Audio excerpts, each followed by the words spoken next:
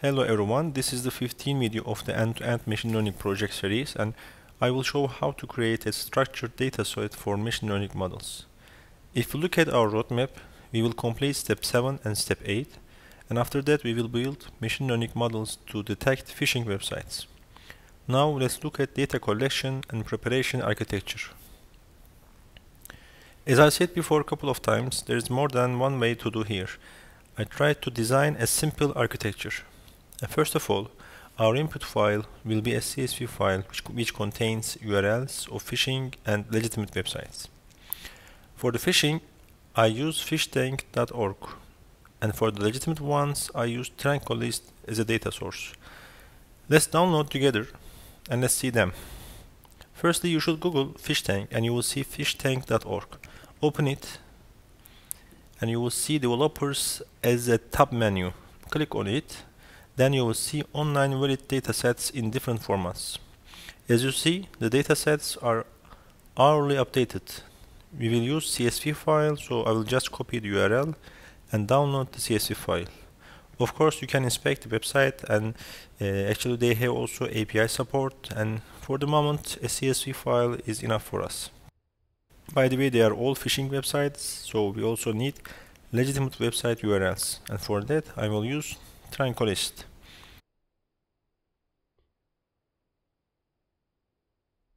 Let's Google it. Tranco list. First one, tranco-list.eu, a research-oriented top sites. That's the one. Open it. Only thing is clicking download button, and as you see, they regularly update the list, and there are researchers. So if you click on download button, you will download a zip file. Extract the zip file, then copy both phishing CSV file and legitimate file to the same directory of your Python files. After all, you should see the files in the PyCharm like this. So let's go back to the uh, data collection architecture. First of all, we will transform our CSV file to a pandas data frame. There can be some unrelated columns, so we will drop unrelated columns and we will keep only URLs. Then we will create a URL list in Python. Then for each URL, our data collector will take the URL and send a request to that URL.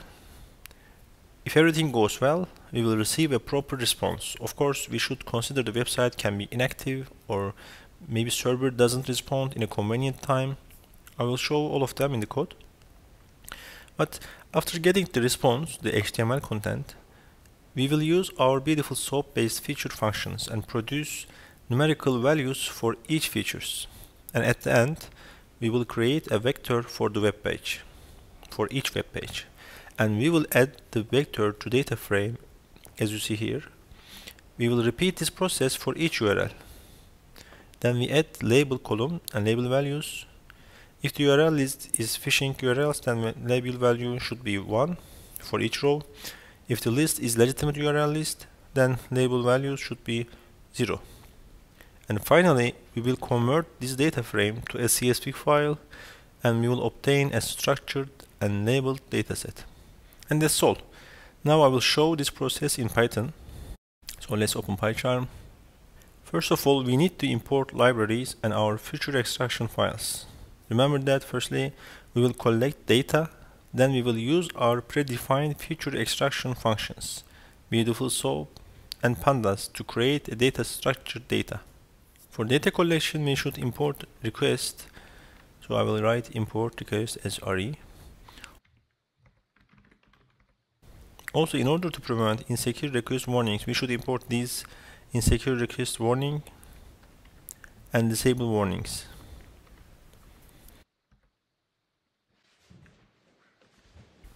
That's all for the data collection part. For the next phase, for the uh, unstructured to structured part, we should import Beautiful Soup.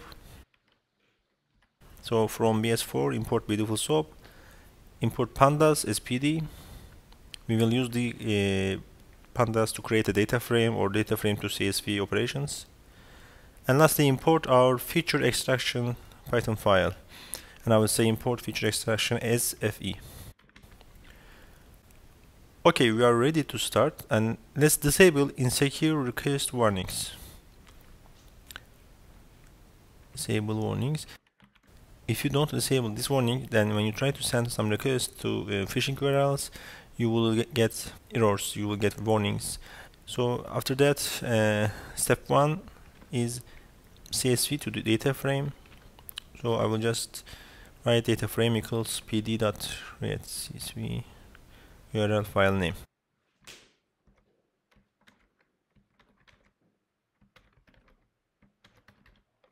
Of course, we should define URL file name before this line. So URL file name equals I will co just copy paste here. Uh, and this, uh, you know, have the legitimate. This file have legitimate website URLs. So firstly, we will create our legitimate structured dataset. If you look at the phishing CSV file, which is the name uh, is a verified online CSV, you will see different column names such as phish ID, submission time, etc. And these are not important for us. So we only need URLs. But when we open the Tranco file, Tranco list file, there are only index and URLs and no titles. So to make them standard, I will add a new line to top URL title, same title with the verified online file. Okay, now they are standard, they are equal, they have some same column names.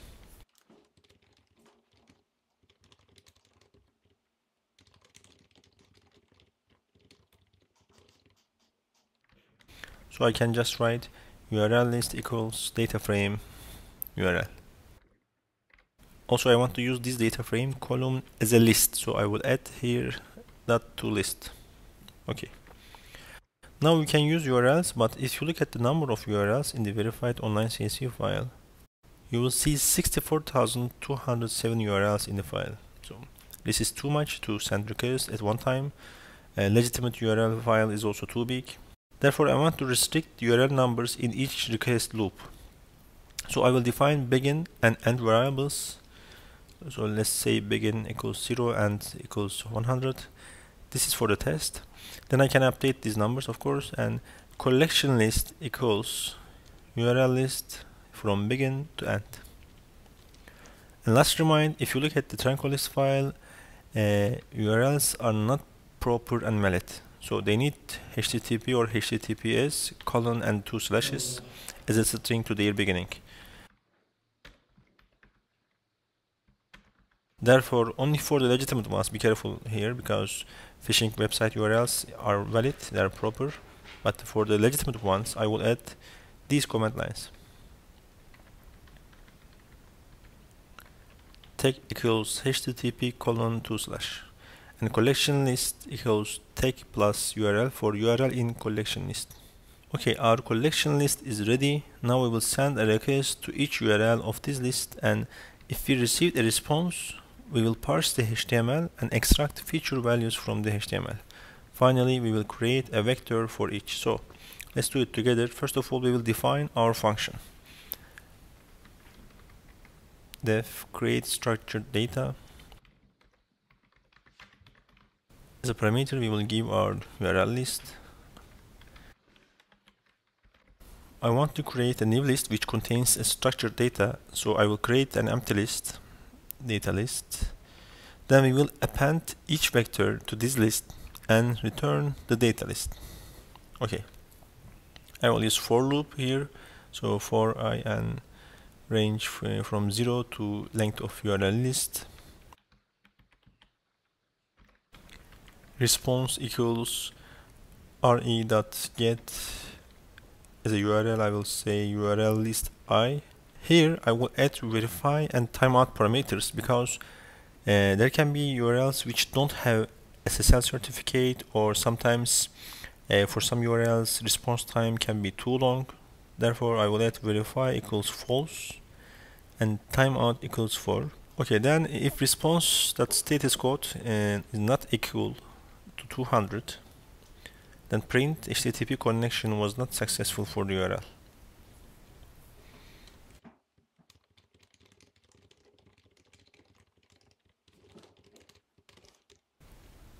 I want to see also the URL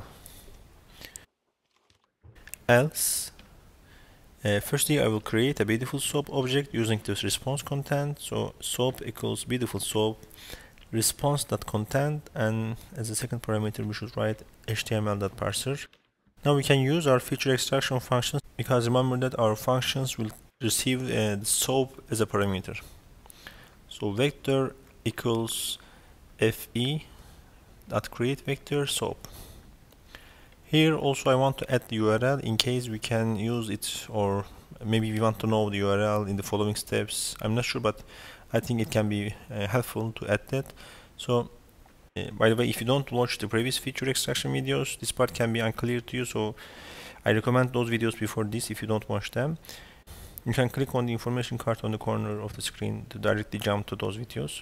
Now our vector is ready so we can add this vector to data list. Data list append vector and finally return the data list. That's all, but we should also consider the exceptions, especially when we work with the request library and try to receive a response from unknown URLs like phishing URLs. So therefore I will add try and except here regarding request exceptions. Try slide all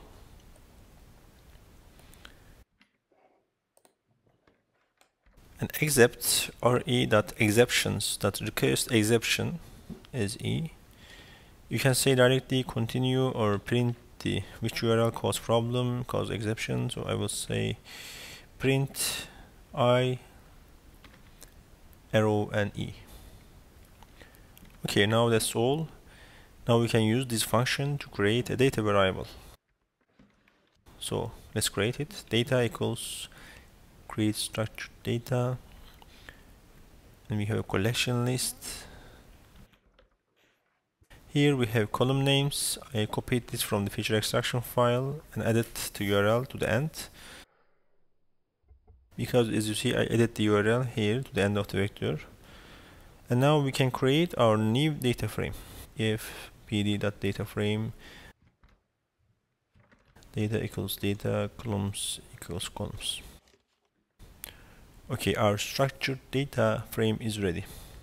Now I want to create a CSV file. Also, I will run this code several times because I restricted the URLs and I don't want to create a new CSV file for each.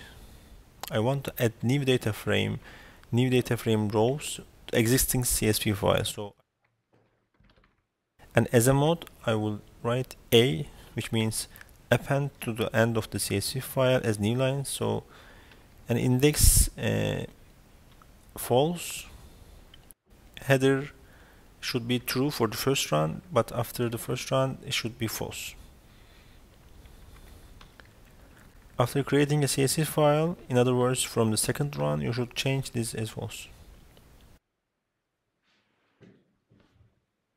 Okay let's run it and inspect the CSV file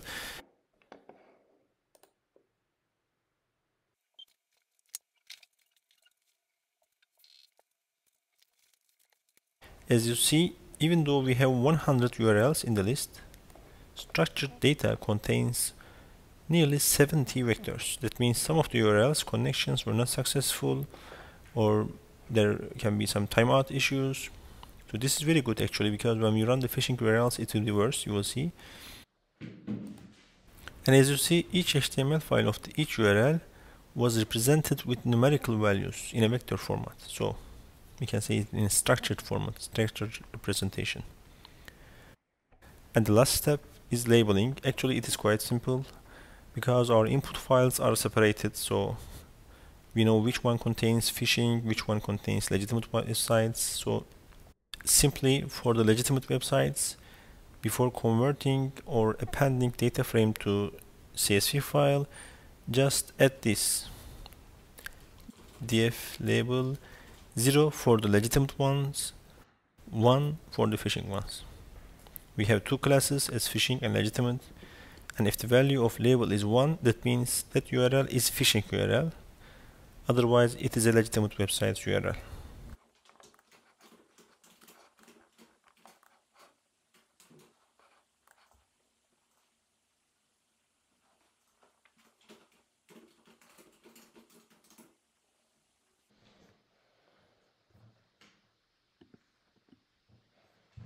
Now we have structured and labeled datasets so we can use supervised learning for our phishing detection models.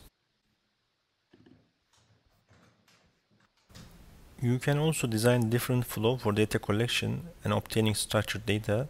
For example, you can save HTML files, then use them in our feature extraction files like we did in the previous videos. However, as you see, even the size of 10 HTML files is uh, 934 kilobytes. So if we have 10,000 phishing files, the total size may be nearly 1 gigabyte. And let's assume we have similar for the legitimate ones so total folder size can be 2 gigabyte. Uh, I didn't want to use mem my memory 2 gigabytes therefore I didn't implement this flow but you can use if you want of course. The important thing is obtaining structured and labeled dataset for our machine learning models okay as you see we completed five major sections with this video and next video will be about machine learning models how to build them which machine learning algorithms can be used for content-based phishing detection.